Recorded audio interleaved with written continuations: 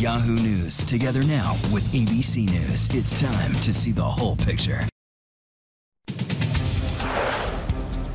Hello to all of our fans online. I'm Muhammad Lila. And I'm Diana Perez with the top stories on this New Year's Eve edition. It's Tuesday, December 31st. Well, on one of the coldest nights of the season, residents of a small North Dakota town are being told to evacuate their homes after a collision between two trains triggered explosions.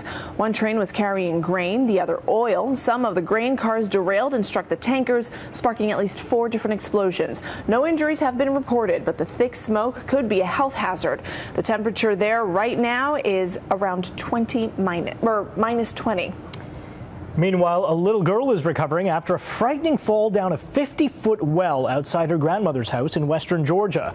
It took more than an hour for emergency crews to lift the seven year old to safety. The smallest firefighter on the scene had to be lowered down the narrow well to get her out. She suffered numerous broken bones and other injuries.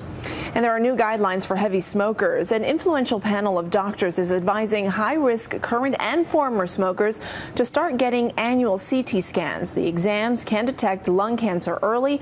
The recommendation applies to people between 55 and 80 who smoked a pack of cigarettes a day for 30 years or two packs a day for 15 years.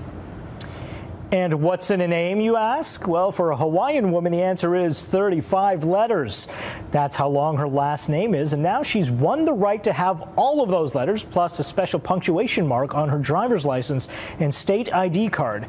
Previously, the IDs only had room for 35 characters, including both first and last names. Her next goal? Getting a social security card with her name on it. You know, I really hope you can see what the name is because there's no way we're going to even attempt it. Uh, I don't think we have time in the newscast. I think you might be right. well, you can get more news anytime at abcnews.com. I'm Muhammad Lila. And I'm Diana Perez. Thanks for watching.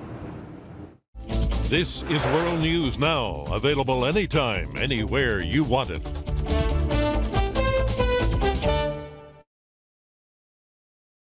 Tonight, Alzheimer's disease. Over 5 million Americans may have it. Now, some promising news in the fight to slow down this deadly disease. It's a World News exclusive you can't afford to miss. Tonight on World News with Diane Sawyer on ABC.